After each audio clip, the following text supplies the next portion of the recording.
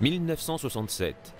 La Syrie s'engage dans un processus qui va attiser les tensions au Moyen-Orient et unifier les États arabes dans une guerre contre leur ennemi juré, Israël. Mais tous sous-estiment la puissance militaire et l'intelligence des Israéliens qui détruisent trois armées arabes et prouvent qu'ils sont une puissance avec laquelle il faudra compter.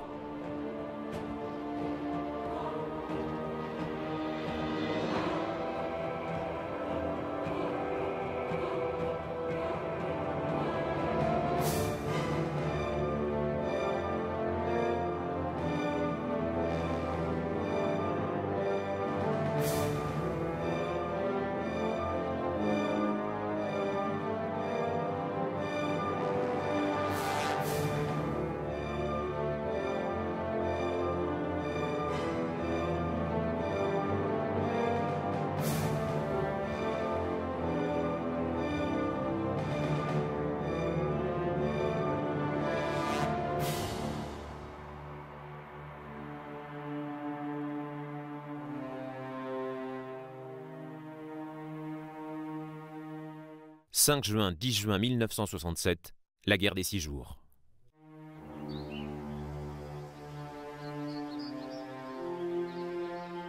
Tout débuta pour de l'eau.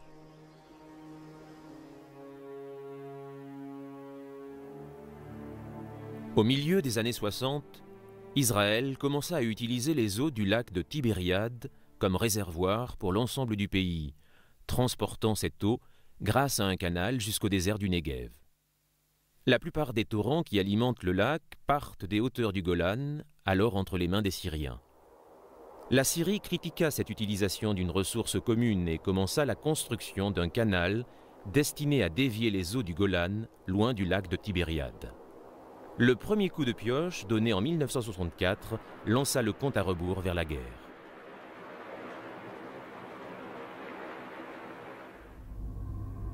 Depuis 20 ans, Israël était en guerre contre ses voisins. La résolution des Nations Unies de 1947 qui transformait la partie contrôlée par les Britanniques de la Palestine en un État juif au milieu d'États arabes avait été rejetée d'emblée par les Palestiniens et par l'ensemble du monde arabe. Lorsque les Anglais quittèrent le territoire en 1948, sept armées envahirent la Palestine, traversant le territoire prévu pour les Palestiniens arabes afin d'attaquer le nouvel État d'Israël. Depuis la fin de cette guerre en 1949, les frontières d'Israël ont toujours été menacées. Arik Nussbacher, Académie militaire royale de Sandhurst. Entre 1948 et 1967, Israël avait un problème de défense parce que, à moins de vouloir mener une guerre de position type Première Guerre mondiale, où vous creusez une tranchée et vous vous tenez là pour euh, tirer jusqu'à ce que tout le monde soit mort, il faut vous organiser afin d'être capable de vous défendre dans un espace en profondeur. Or, les Israéliens ne disposaient pas de cette profondeur. Duncan Anderson, le pays a grosso modo la forme d'un sablier avec une zone au nord entourée de montagnes autour du mont Hermon de 3000 mètres de haut et une zone au sud avec le Negev. Ces deux zones sont reliées par un corridor qui ne fait que 15 km à son point le plus étroit, si bien que l'artillerie jordanienne dans les collines de Judée est tout à fait capable de faire pleuvoir les obus sur les plages israéliennes. Lloyd Clark, la population n'était pas nombreuse, le pays n'était pas grand non plus sans profondeur stratégique, mais avec des frontières très longues et une économie fragile et très concentrée, il lui était impossible de mener de longs combats de position. Israël devait plutôt se tourner vers une guerre de mouvement. Arik Nussbacher. Donc la défense israélienne reposait au niveau stratégique sur l'offensive et les frappes préventives devinrent une part importante de la doctrine militaire israélienne en raison de la situation stratégique. En 1956, pendant la crise de Suez, les Britanniques et les Français réussirent à convaincre Israël d'entrer en guerre contre l'Égypte et pendant une courte période, Israël occupa la péninsule du Sinaï. Seul le déploiement de la toute première mission de maintien de la paix de l'ONU réussit à ramener les tensions à leur niveau normal. Dans les années 60, alors que les incidents sur la frontière israélo-syrienne étaient de plus en plus nombreux autour des hauteurs du Golan, le président égyptien Nasser voyait son leadership sur les nations arabes lui échapper. il ne pouvait pas permettre aux Syriens de devenir les principaux agresseurs des Israéliens. Le 16 mai 1967, le président Nasser ordonna aux forces de maintien de la paix des Nations Unies de quitter le Sinaï. Arik Nusbaker. Nasser voulait juste qu'une partie des troupes de l'ONU s'en aille pour qu'on puisse lui répondre Non, cette force doit rester pour l'intérêt de la paix et de la sécurité internationale. Nasser aurait alors pu déclarer que la présence de l'ONU était nuisible afin que l'ONU lui réponde que ce n'était pas le cas. Nasser aurait ainsi fait la démonstration de sa force aux Israéliens. Mais à la grande surprise de Nasser, la force de maintien de la paix de l'ONU ramassa ses affaires et quitta les lieux. Nasser, qui avait tenu des propos particulièrement virulents envers les Israéliens et qui avait glacé le sang à plus d'un en expliquant ce qu'il allait faire à l'Israël, se retrouva sans tampon entre lui et eux. Nasser surveillait le détroit de Tiran, accès d'Israël au golfe d'Aqaba.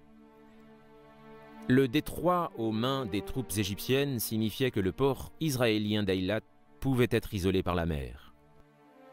Les juristes internationaux savaient que c'était une possibilité terrifiante. Bien que le détroit de Tiran se situe à l'intérieur de la limite des eaux territoriales égyptiennes, il était néanmoins considéré comme faisant partie des eaux internationales. En interdire le passage était un acte de guerre. Les Israéliens surveillaient avec attention la montée en puissance de l'Égypte. Le 20 mai, ils mobilisèrent leur armée, rappelèrent les réservistes et mirent leur économie en stand-by. Ils observèrent Nasser qui tentait de convaincre le jeune roi Hussein de Jordanie de rejoindre la structure de commandement conjointe égypto-syrienne. Ils surveillèrent les Syriens qui creusaient leur canal et regardèrent les forces de Nasser se rassembler dans le Sinaï.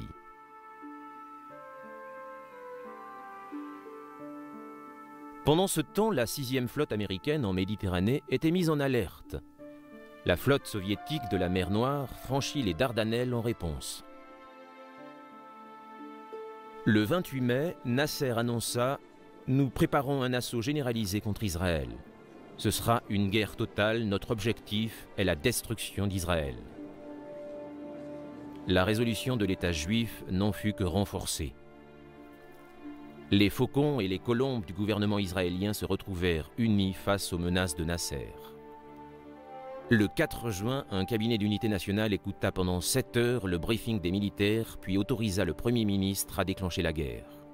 Le Premier ministre israélien, Eshkol, demanda à son nouveau ministre de la Défense, Moshe Dayan, de débuter les hostilités le 5 juin à 7h45, heure de Jérusalem, 8h45, heure du Caire. L'aviation israélienne était parfaitement bien entraînée. Elle était particulièrement fière de la rapidité de la remise en état de ses avions et était curieuse de voir le résultat en cas de guerre. L'aviation israélienne pouvait reconditionner un avion en 8 minutes. Cela signifie que, à partir de l'instant où il se pose, un avion peut être ravitaillé, réarmé, inspecté et être prêt à redécoller en 8 minutes. Les Israéliens pouvaient le faire huit fois par jour pour chaque avion. La question était, que se passerait-il si toute l'aviation était lancée en opération à ce rythme? Quels dommages pourrait-elle alors infliger en un seul jour? Les responsables israéliens regardèrent les chiffres encore et encore. Leur analyse disait que s'ils opéraient ainsi contre les Égyptiens pendant une longue et difficile matinée, il pouvait détruire toute l'aviation égyptienne au sol et avait encore le temps d'attaquer les aviations jordaniennes et syriennes plus modestes. À 8 heures, heure du Caire, le 5 juin 1967, la patrouille de l'aube israélienne décollait. Duncan Anderson, dans une force aérienne bien organisée, en période de tension internationale, les patrouilles aériennes sont menées dès l'aube et elles se succèdent toute la journée de façon à ce qu'une protection aérienne demeure au-dessus des bases militaires les plus stratégiques, les bases aériennes, etc. Il est rare qu'une première patrouille décolle et, puis se pose et qu'il y ait un délai entre la première patrouille et la suivante. Les Égyptiens choisirent cette option. Ils ne sont pas les seuls à avoir fait cette erreur. Les Américains aux Philippines, le 8 décembre 1941, ont perdu toute leur aviation en commettant exactement la même erreur. Les B-17 et les P-40 avaient décollé le matin et s'étaient posés pour être ravitaillés au moment même où les Japonais choisirent de frapper. C'est précisément la même chose qui allait se passer le 5 juin 1967.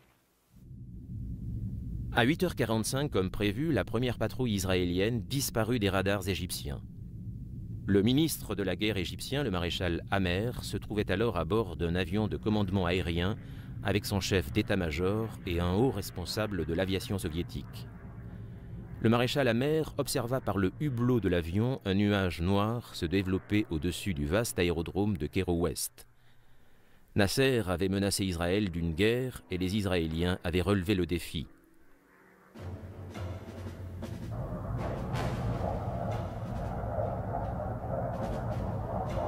Alors que le pilote du maréchal Amer cherchait frénétiquement un aérodrome sûr pour poser son avion, dix des bases avancées de l'aviation égyptienne situées entre le Caire et la frontière israélienne étaient détruites par les avions d'attaque au sol de la Hail A Avir. Une fois que chaque patrouille de deux avions avait largué ses bombes, elle virait et utilisait ses canons et ses missiles contre les avions égyptiens en cours de ravitaillement au sol.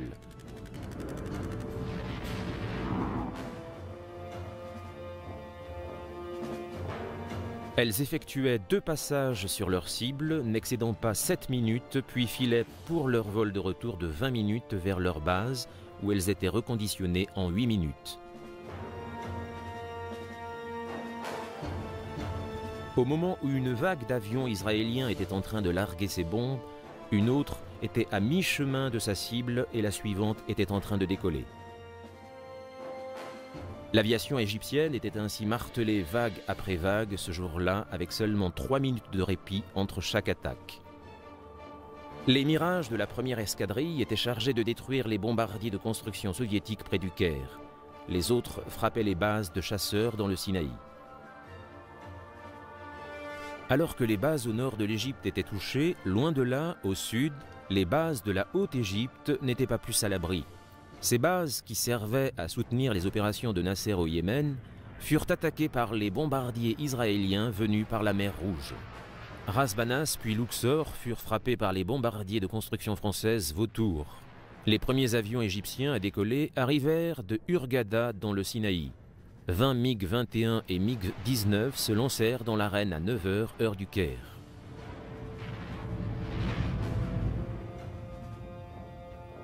Quatre des MiG furent descendus par les Israéliens et le reste fut forcé d'interrompre le combat en raison de leur faible réserve de carburant. Le choc fut rude pour eux lorsqu'ils découvrirent que toutes les bases égyptiennes à leur portée avaient été détruites. Les pilotes s'éjectèrent ou s'écrasèrent lorsqu'ils tentèrent de se poser sur les pistes pleines de cratères. Huit autres MiG décollèrent et descendirent deux chasseurs bombardiers mystères, mais tous tombèrent ensuite sous les canons des mirages. Vers 11h35, heure du Caire, 250 avions égyptiens avaient été détruits et 100 des 350 pilotes égyptiens avaient été tués. D'autres avaient été blessés. Israël avait perdu 19 avions, dont 3 par action de l'ennemi. Vers midi, au premier jour de la guerre, les Israéliens tournèrent leur attention vers les autres bases égyptiennes. L'aviation syrienne, trompée par la propagande égyptienne, lança une attaque contre les raffineries de pétrole d'Haïfa mais les appareils furent décimés par les défenses israéliennes. La force aérienne jordanienne tenta d'apporter un soutien rapproché à ses troupes autour de Jérusalem, mais elle subit un sérieux revers. Même les éléments de l'aviation irakienne qui avaient été déployés contre Israël furent détruits. Donc vers midi, au premier jour du conflit, Israël avait une suprématie aérienne absolue au-dessus de son propre territoire, mais aussi au-dessus de l'Égypte, de la Jordanie et de la Syrie. L'aviation israélienne pouvait désormais se consacrer entièrement à l'appui aérien des troupes terrestres qui combattaient dans le Sinaï, en Cisjordanie et dans le Golan. Lloyd Clark. La supériorité aérienne était absolument cruciale pour les Israéliens pour de nombreuses raisons stratégiques. Elle aurait été indispensable car elle leur permettait de projeter leurs forces à de grandes distances avec des moyens relativement limités, Sur le plan opérationnel, cela signifiait qu'elle pouvait opérer entre les différents fronts, car il y avait plusieurs ennemis les encerclant. Ils savaient qu'il fallait les combattre l'un après l'autre. Cette domination aérienne leur offrait une certaine flexibilité sur le plan opérationnel. Une fois la supériorité aérienne obtenue, les avions étaient utilisés comme appui au sol et épaulaient l'infanterie dans ses avancées, empêchant l'ennemi de se renforcer et même de battre en retraite. Il devenait possible d'utiliser l'aviation pour le transport logistique et d'acheminer des troupes aéroportées en nombre. Ainsi, la supériorité aérienne apportait aux Israéliens la flexibilité dont ils avaient besoin à tous les niveaux.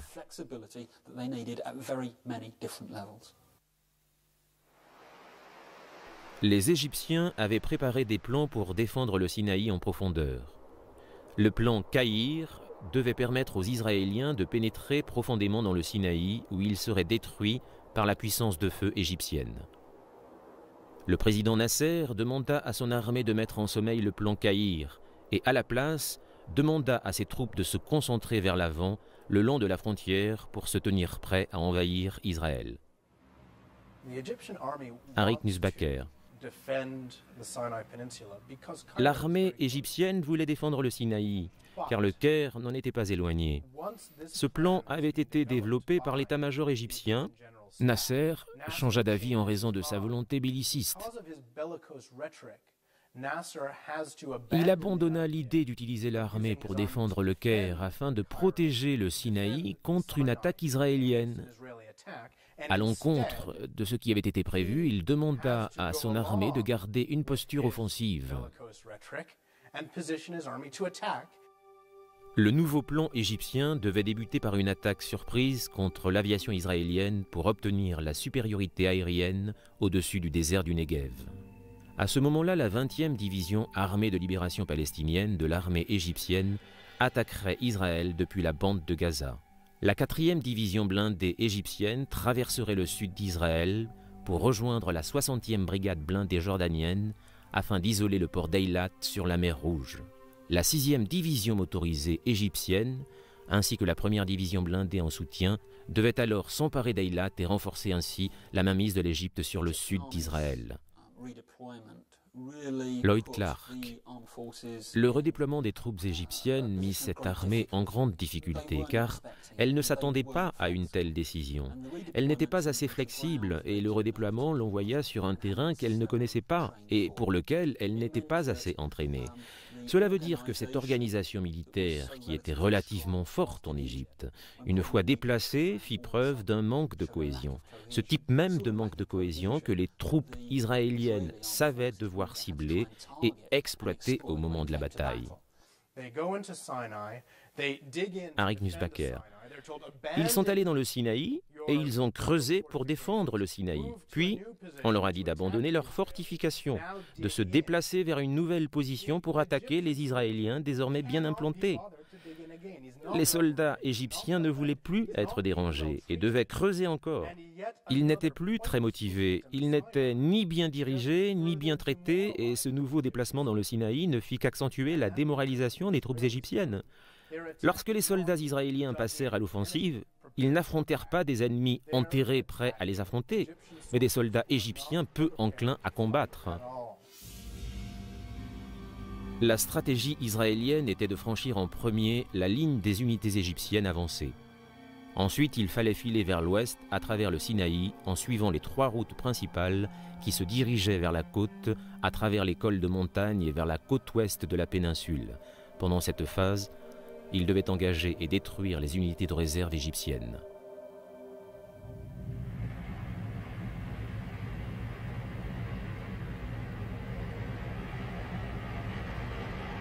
Le combat le plus dur eut lieu pendant la percée initiale du 5 juin, le premier jour de la guerre.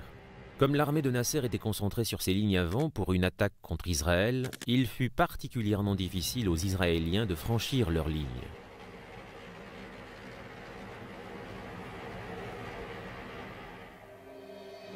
À Abu Agela, les Égyptiens avaient préparé une zone de défense pour bloquer la route qui passait au milieu du Sinaï. La position avait été préparée selon la doctrine soviétique. Une ceinture de tranchées partait à droite d'une zone de crevasses et de rochers et s'enfonçait à gauche dans des dunes de sable. En avant se trouvaient des champs de mines couverts par des mitrailleuses dans les tranchées et de l'artillerie en arrière. À quelques kilomètres de là, une force blindée se tenait prête à contre-attaquer. Le brigadier Ariel Sharon envoya ses chars sur un itinéraire de contournement pour bloquer les blindés ennemis. Il envoya ses paras avec des hélicoptères pour attaquer l'artillerie égyptienne, frappant les artilleurs sur leur position même. Ses chars et ses canons attendaient en face des défenses égyptiennes pendant que son infanterie avançait à travers les dunes de sable sur le flanc gauche des positions égyptiennes. Lorsqu'ils furent informés que l'artillerie adverse avait été réduite au silence, les chars et l'artillerie israéliens concentrèrent leurs tirs sur le flanc gauche des tranchées égyptiennes. Au fur et à mesure que les tirs se déplaçaient, les soldats israéliens envahissaient les tranchées et levaient des drapeaux de couleur pour marquer leur progression.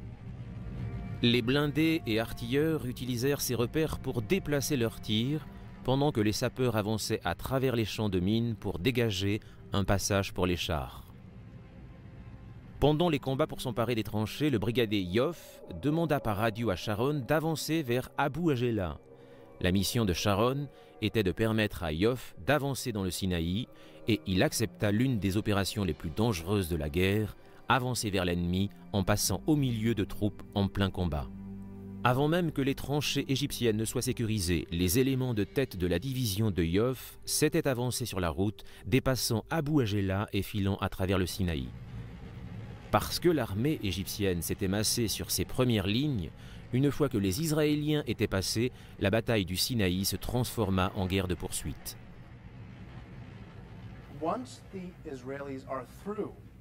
Une fois que les Israéliens eurent percé les troupes égyptiennes déployées en première ligne, prêtes à envahir Israël, ce fut bien plus facile pour eux d'avancer car les Égyptiens reculaient et ne pouvaient que tenter de résister. Les Israéliens avaient une idée très précise du déploiement égyptien, obtenue grâce à la combinaison de renseignements humains, d'analyse des émissions radio égyptiennes et de patrouilles de reconnaissance. Ils savaient qu'une faille existait entre la 20e division palestinienne, basée à Gaza, et la 7e division égyptienne, basée plus à l'ouest. Il y avait un lieu appelé Rafford Junction et il savait que s'il frappait depuis le nord à cet endroit, il pourrait filer par l'étroit passage situé entre les deux divisions ennemies. Ils connaissaient leurs objectifs et pouvaient passer sur l'arrière des Égyptiens pour mettre à mal leur cohésion et les anéantir directement dans le Sinaï, dans ce qui fut une superbe tactique. Ils savaient ce qu'ils pouvaient faire et disposaient de la coopération de toutes les armes pour atteindre les objectifs de cette attaque préventive. Ensuite, ils ont maintenu leur vitesse et leur rythme pour mener l'attaque à son terme et atteindre le canal de Suez en juste 100 heures, allant ainsi au bout d'une des offensives militaires les plus remarquables de tout le XXe siècle. 15 000 Égyptiens furent tués ou blessés lors de ces quatre jours de combat. 5000 furent capturés ainsi que 500 officiers. 80% de la puissance militaire égyptienne avait été mise hors de combat, dont des centaines de chars et des centaines de canons. Les pertes israéliennes se montaient à 300 tués et un peu plus d'un millier de blessés. Il avait juste fallu quatre jours de combat pour que les Israéliens balayent l'armée égyptienne dans le Sinaï. Le 8 juin, les Égyptiens étaient prêts à accepter un cessez-le-feu. Les unités prévues pour filer jusqu'au bout du Sinaï n'eurent pas à le faire. Les marins israéliens débarquèrent à Sharm el-Sheikh pour lever le drapeau de leur pays sur le détroit de Tirane.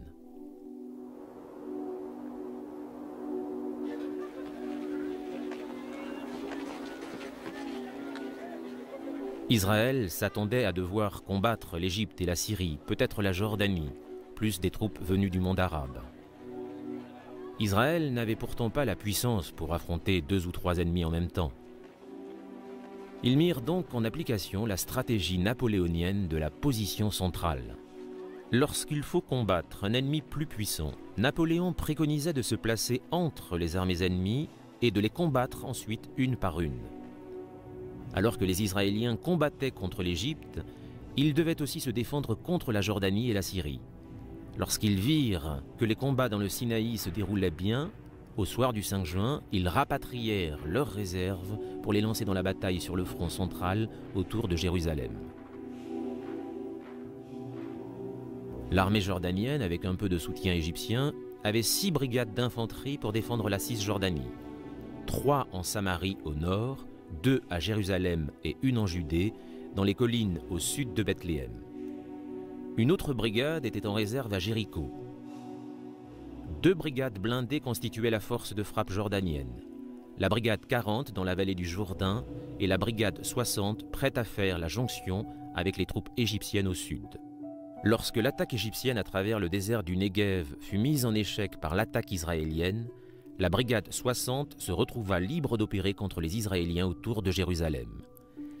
Les Israéliens faisaient face à la Jordanie avec l'importante brigade de Jérusalem, une brigade d'infanterie de réserve près de l'aéroport de Lod, une brigade d'infanterie de réserve près de Netanya à l'endroit le plus étroit du pays.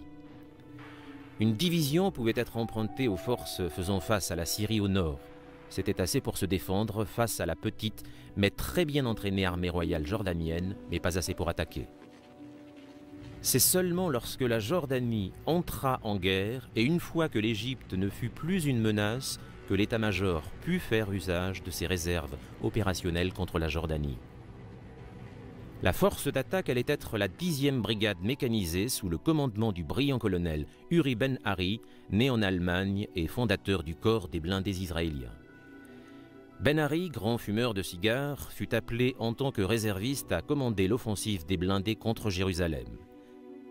Avec eux se trouvaient les parachutistes de la 55e brigade, prévus initialement pour être largués en Égypte avant que ce soit devenu inutile.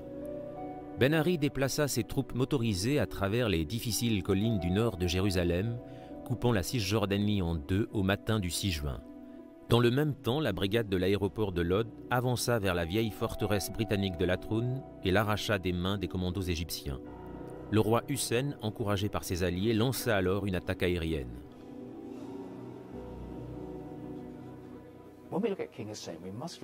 Lorsqu'on évoque le roi Hussein, on doit se souvenir de la dualité politique de la position jordanienne.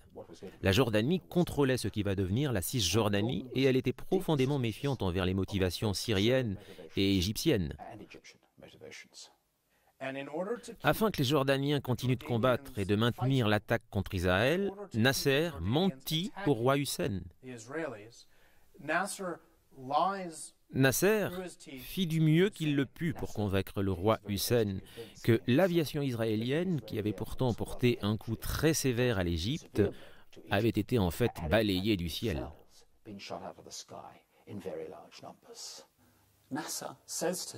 Nasser dit à Hussein que 70% de l'aviation israélienne, une part importante des moyens ennemis, avait été détruite.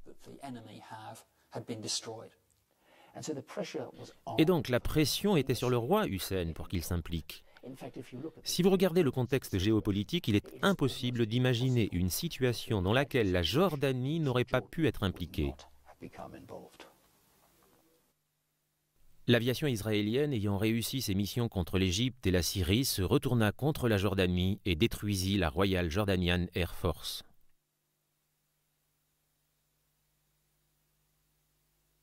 Le roi Hussein ordonna à la 60e brigade blindée d'avancer dans les collines de Judée pour s'opposer aux blindés de Ben Ari. Et pendant leur avancée, elle fut détruite par les missions d'appui au sol menées par l'aviation israélienne. Les para-israéliens remballèrent leurs parachutes, sortirent les opérations dans le désert de leur esprit et avancèrent vers la région de Jérusalem. Ils encerclèrent la vieille ville en arrivant du nord et de l'est. Depuis 19 ans, les Jordaniens construisaient leur défense autour de la vieille ville, de Jérusalem à Ramallah, afin de stopper les attaques israéliennes. C'était un système de défense comparable à celui de la Première Guerre mondiale. constitué de zones de tir prédéterminées, de tranchées, de casemates de différentes hauteurs, qui se protégeaient mutuellement, reliées entre elles par des souterrains et par des tranchées, des barbelés, des mines anti-chars et antipersonnelles.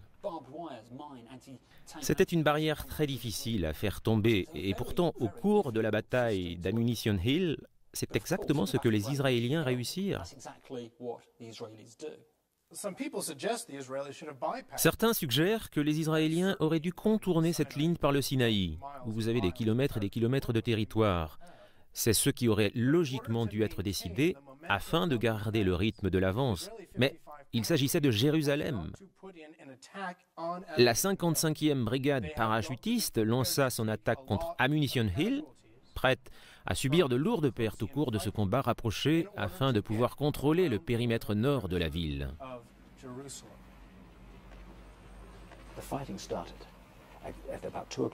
Les combats débutèrent vers 2 heures du matin le 6 juin et les tirs furent ininterrompus jusqu'à l'aube lorsque Ammunition Hill tomba aux mains des Israéliens. Ce fut un épisode épique de l'histoire de l'IDF, les forces de défense israéliennes. Et ce fut identique mais en négatif pour l'armée jordanienne.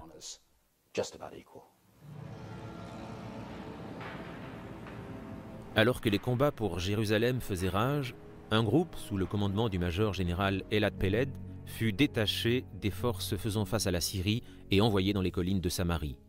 Lentement, une brigade traça sa route dans les défenses jordaniennes pourtant bien préparées vers Jenin avec de violents combats à Kabatia en direction de Naplouse.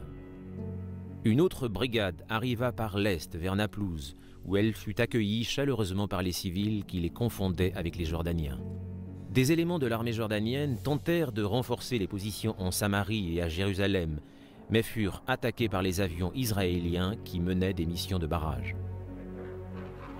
Dans la nuit du 6 au 7 juin, le gouverneur jordanien de Jérusalem constata que les renforts n'arrivaient pas et commença à retirer ses troupes de la ville.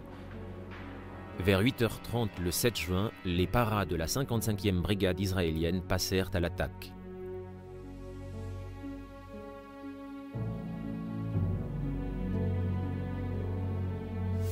Deux bataillons montèrent sur la crête du mont des Oliviers, près de l'hôpital Augusta Victoria, et suivirent la crête jusqu'à la vallée de Cédron, pendant qu'un troisième bataillon avança en suivant les murs de la vieille ville.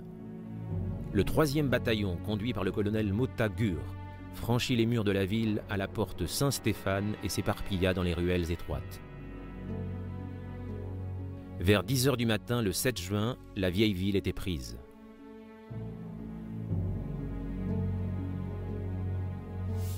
Les forces de la brigade de Jérusalem avancèrent vers le sud, vers Bethléem et Hébron dans les collines de Judée. La dixième brigade de Ben Ari avança vers le nord par la vallée du Jourdain. 550 soldats israéliens furent tués et 2500 blessés. Les Jordaniens comptèrent 6000 tués ou portés disparus. Le royaume hachémite avait été amputé de la moitié de sa population. Le roi Hussein, trahi par les faux renseignements égyptiens et les promesses non tenues des Syriens, accepta un cessez-le-feu à 20 heures le troisième jour de la guerre.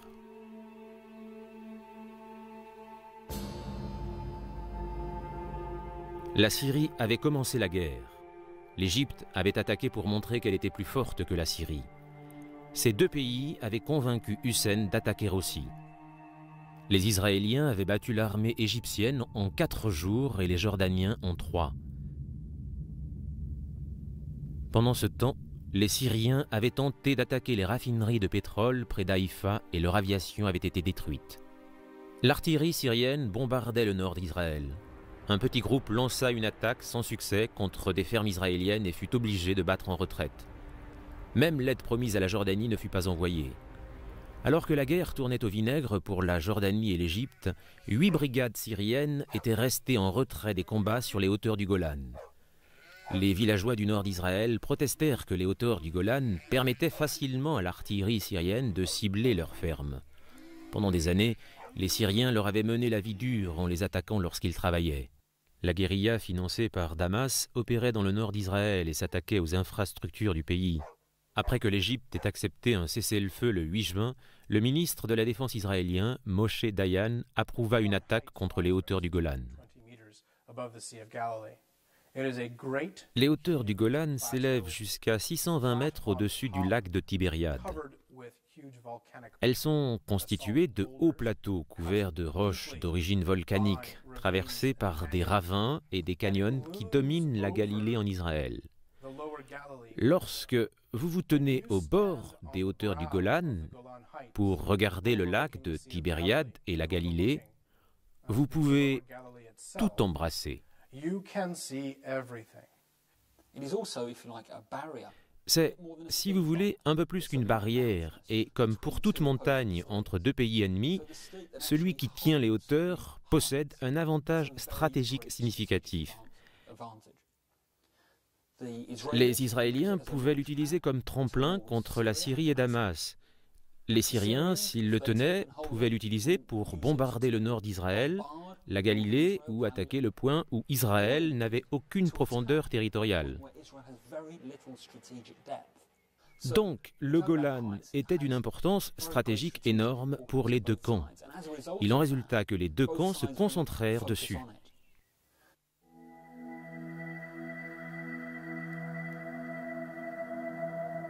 L'immense plateau du Golan est bordé par le profond canyon Yarmouk au sud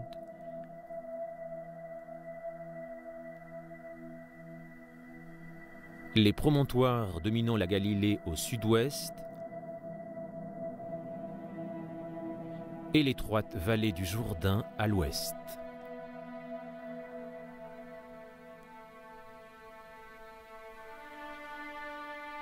La partie sud des hauteurs est entrecoupée de profonds canyons qui rendent pratiquement impossible l'usage des chars en dehors de la seule bonne route. L'armée syrienne défendait les hauteurs avec trois groupes de brigades. Le 35e groupe de brigades disposait de deux brigades d'infanterie régulière avancées et d'un groupe de brigades motorisées en réserve. Le Task Group défendait la zone des canyons au sud du Golan. Le 12e groupe de brigades défendait le secteur nord des hauteurs avec un groupe d'infanterie régulière et un autre de réservistes. Au sein de ces brigades, il y avait aussi cinq bataillons de la garde républicaine syrienne.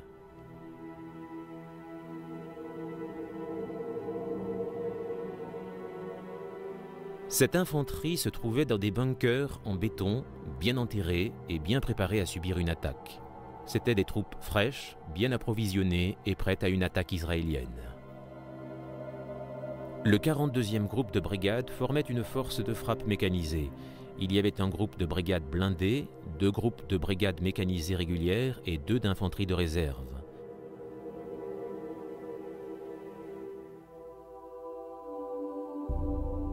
Cette force offensive était placée en réserve le long de l'axe allant de Damas à la ville de Cunetra.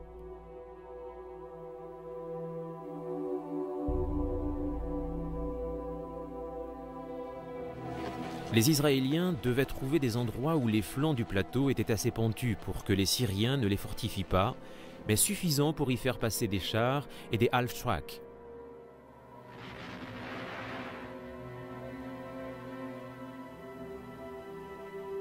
Les Israéliens affectèrent deux task groups aux hauteurs du Golan.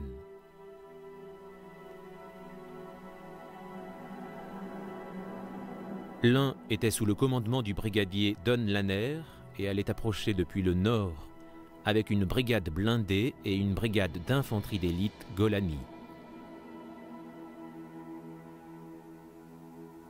L'autre groupe allait attaquer par les difficiles pentes sud du plateau. Ce groupe était constitué de brigades qui avaient combattu autour de Jérusalem et qui avaient été redéployées vers le Golan pendant que le groupe de Lanner combattait au nord.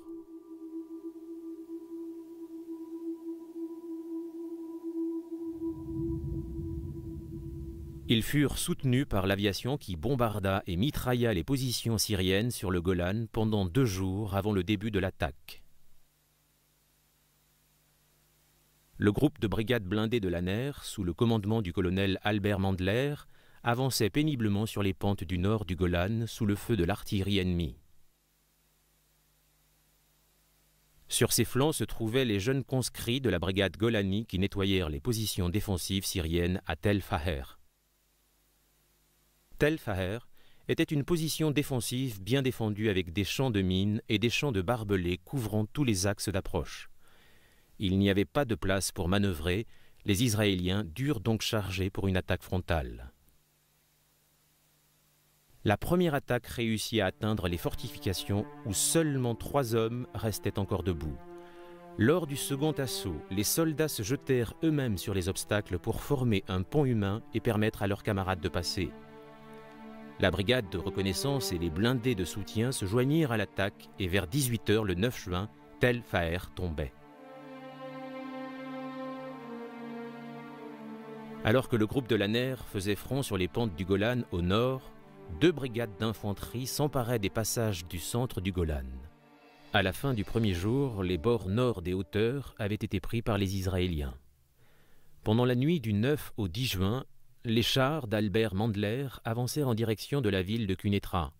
Pendant ce temps, des éléments de la 55e brigade de parachutistes de réserve et des forces motorisées se déplacèrent vers le nord depuis le front jordanien, désormais calme, afin de se joindre au combat. Au cours de cette nuit de manœuvres complexes, le régime syrien recula sa force mécanisée principale, le 42e groupe de brigade, pour le rapprocher de Damas. Le haut commandement israélien savait qu'il devrait déplacer ses forces d'un front à l'autre, en particulier s'il y avait une alliance des Arabes, ce qui allait avoir comme conséquence de devoir faire tomber d'abord la principale puissance militaire, c'est-à-dire l'Égypte, puis ensuite s'occuper de la Jordanie, puis des hauteurs du Golan et enfin des Syriens. Uri Ben Ari, le commandant de la brigade, convia tous les conducteurs de sa brigade dans une pièce. Quelques centaines d'hommes vinrent s'asseoir et il leur dit Messieurs, nous devons grimper les hauteurs du Golan et nous devons être là-haut vers 4 heures demain matin. Et il leur donna une carte quadrillée et il leur montra quel était le point à atteindre à la fin de leur mouvement. Entre ici et là-bas, des policiers militaires vont s'y trouver aussi, qui vont tenter de contrôler le trafic, ainsi que des logisticiens qui voudront des signatures et de la paperasse pour délivrer du carburant.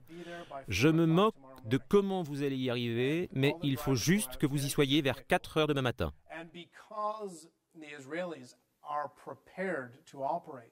Ils transportèrent des soldats en voiture et en minibus.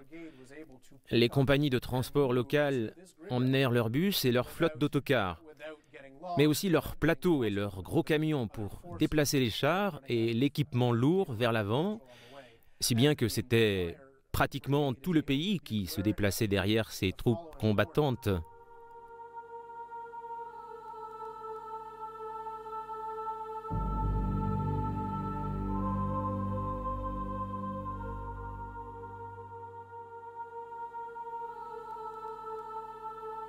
Les éléments des deux groupes de brigades traversèrent le centre du Golan tôt le matin du 10 juin.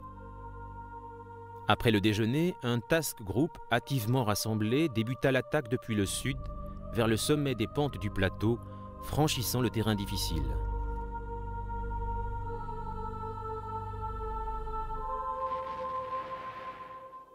L'opposition syrienne faiblissait car Damas retirait les groupes les uns après les autres.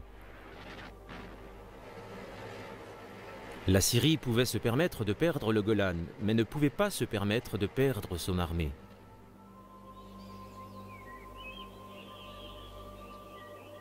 Dans la nuit du 10 juin, la Syrie et Israël se mirent d'accord pour un cessez-le-feu. 2500 soldats syriens avaient été tués, 5000 blessés et 591 faits prisonniers. Les Israéliens avaient perdu 127 tués et 600 blessés pendant ces combats. Après la guerre des six jours, Israël disposait d'une défense en profondeur. Israël avait désormais des territoires qu'il pouvait utiliser comme monnaie d'échange contre la paix et pour sa reconnaissance. Pour la première fois de leur histoire, ils disposaient de zones de tampons autour de leur propre État. Le fait que le Sinaï fût occupé par les Israéliens fut considéré comme quelque chose d'extraordinaire, bien qu'ils ne l'occupaient pas suffisamment faute de force. Entre 1967 et 1973, le Sinaï fut une zone tampon cruciale. Ils avaient aussi pris les hauteurs du Golan aux Syriens, une zone stratégique absolument vitale qui offrait aux Israéliens toutes sortes d'avantages au nord. Il s'était aussi emparé de la Cisjordanie, une zone aussi stratégique et sensible sur le plan opérationnel que religieux.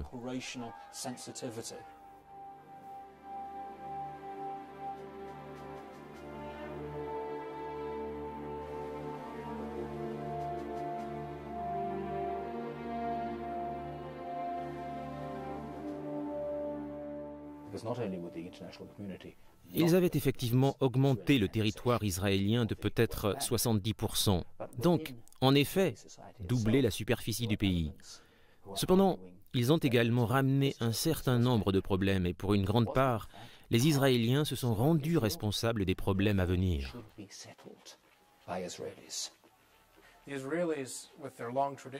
Les Israéliens, avec leur longue tradition de construction de colonies de peuplement, commencèrent à en construire sur les hauteurs du Golan, en Cisjordanie dans le Sinaï? Sans doute pour des raisons politiques autant que religieuses que tout le monde peut comprendre, ils en construisirent en Cisjordanie parce que c'était une part de l'Israël biblique. Je suppose qu'il en était de même pour le Golan. Mais ils en construisirent aussi dans le Sinaï, ce qui signifiait qu'ils devaient aussi défendre cette zone et que ça ne représentait plus une garantie de profondeur de territoire, tout comme les constructions dans le Golan qu'ils devaient aussi défendre et qui réduisaient leur profondeur stratégique à pratiquement rien.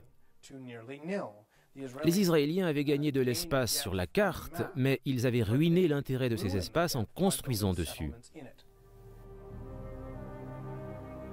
Avant la guerre, Israël avait été victime du blocus égyptien du détroit de Tirane.